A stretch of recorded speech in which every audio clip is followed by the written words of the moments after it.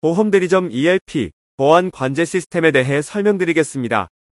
GA 플러스 보안 시스템은 국세청 기준 100여 항목의 보안 심사를 통과하여 전자세금 계산서 사업자로 선정되었습니다. 이외에도 자체 보안 강화를 위해 여러 형태의 보안 시스템을 운영하고 있습니다. 관제 시스템은 본사의 관제 상황 시를 운영하여 비상 상황 발생 시 즉각적인 대응이 가능하도록 하고 있습니다.